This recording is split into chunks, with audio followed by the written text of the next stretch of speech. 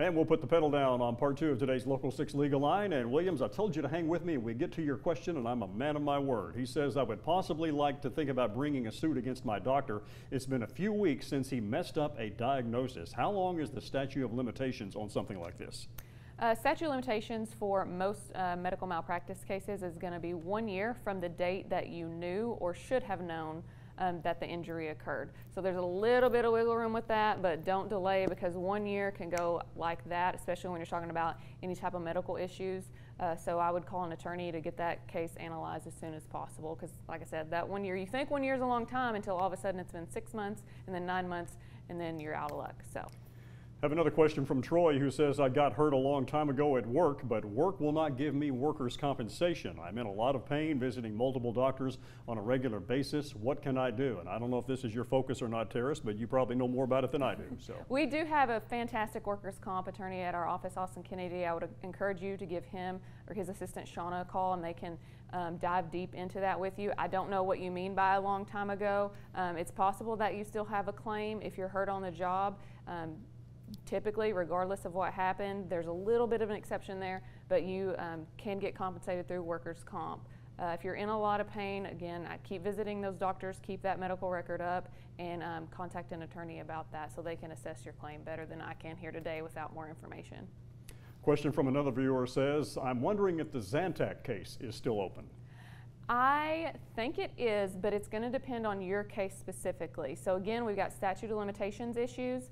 Um, call our office and ask to speak with one of our mass tort uh, specialists there, and they can get, like, get some information from you to see whether you qualify or not. Uh, it's going to depend on, again, your statute of limitations. So give our office a call and we can talk to you about that. I have a question from another anonymous viewer who says, My daughter was injured in an automobile accident while on vacation. Are there any deadlines I need to meet as far as uh, an injury case goes? Statute limitations, that's the big one. Um, I don't know if they were vacationing in Kentucky, then you have, for any car accidents, you have two years from the date of the accident or the last PIP payment. Uh, if it was out of state, you know, I can't tell you, I don't know what state you were in, but um, get to talk to an attorney so they can tell you what the statute of limitations is in that state. Again, document all your medicals, wage loss, all that stuff, and uh, that's really the main deadline you need to worry about is statute of limitations.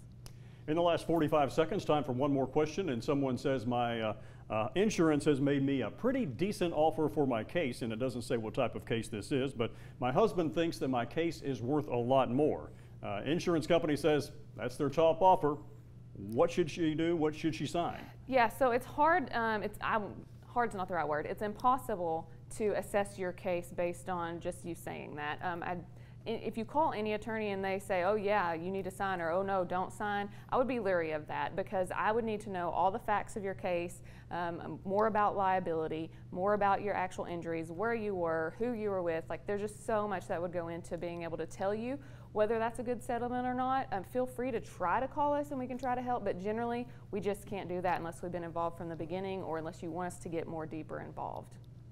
The Honorable Teris Swanson of the Bryant Law Center from Paducah, Mayfield, and Louisville. Our guest today on Local 6 Legal Line. And the focus we thought was going to be two-sided, but it's been mainly on uh, personal injury. So if you'd like to review either one of these, good for you. We'll have them up very shortly. Look under the Legal Line icon, click on Bryant Law Center at WPSDLocal6.com. More to come on midday.